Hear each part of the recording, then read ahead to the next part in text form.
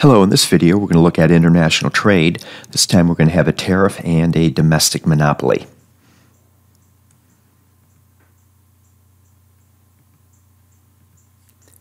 The competitive world price for good X is $10. In the domestic economy, a monopolist produces good X and faces the following market demand. Q equals 50 minus 0.5 P, where P is the price. The monopolist marginal cost is given by the following equation. How many units of good X are imported? How many units of output does the monopolist sell? And we want to calculate the consumer surplus, producer surplus, and total surplus. In this case, the monopoly is going to be a price taker at the world price of $10. We're going to set the world price equal to the monopolist's marginal cost. $10 equals 0.5 Q. Solving for Q, the monopolist will produce and sell 20 units. The total number of units purchased by domestic consumers, we're going to take the world price and we're going to plug it back into our demand equation that we started this with and we get 45. So consumers in this domestic market will buy 45 units. To calculate the number of imports, we're going to take the domestic consumption, which is 45 units, and subtract from it the monopoly output, and we get 25 imports. Okay, let's look at this graphically. The world price is $10, which is this horizontal line here at the bottom this horizontal line at the bottom. We're going to ignore the horizontal line just above the world price. Here is the monopolist demand equation, or if we solve for P, the inverse demand. So the vertical intercept is 100, and the horizontal intercept is 50 for the monopolist demand.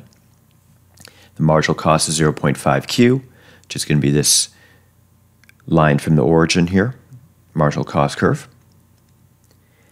The total output is 45, so where the world price, $10, this bottom horizontal line intersects the demand, that's going to be at 45 units right here. The monopoly output is 20. So where this horizontal line here, the world price intersects the marginal cost, that's how many units the monopolist brings to the market, 20. So the difference between 20 and 45 right here is the number of imports.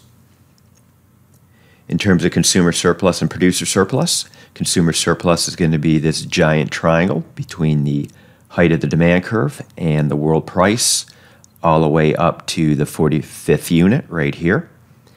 So one half base times height, we get consumer surplus of 2,025. As for producer surplus, producer surplus is going to be this bottom triangle between the world price of $10 and uh, the marginal cost curve up to the 20th unit that the, that the monopoly brings to the market. And so we get producer surplus of $100, giving us total surplus of $2,125. Okay, now let's look at the effect of a tariff.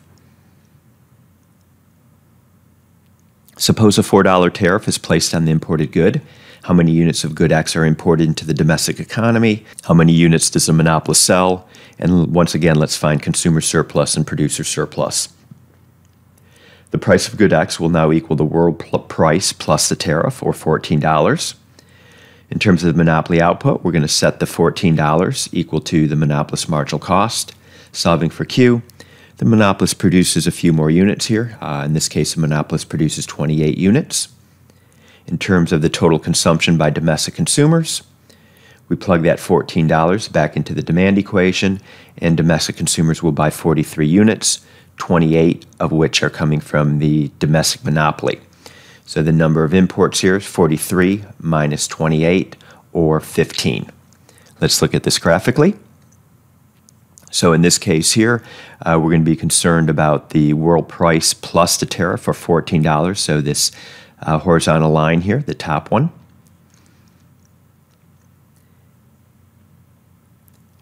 So where this horizontal line here, the world price plus the tariff intersects the demand, that's going to be at 43 units of output.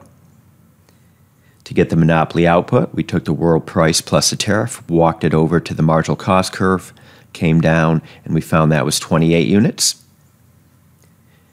So the imports are just a difference, 43 minus 28. In terms of consumer surplus, it's going to be the difference between the height of the demand curve and $14, all the way up to that last unit consumed, the 43rd unit. And we get the following value for consumer surplus. As for producer surplus, it's going to be another triangle, the difference between $14 and the marginal cost, all the way up to the 28th unit. And we get $196. In terms of government revenue, uh, it's going to be the tariff times the number of imports. So 4 times 15 is government revenue.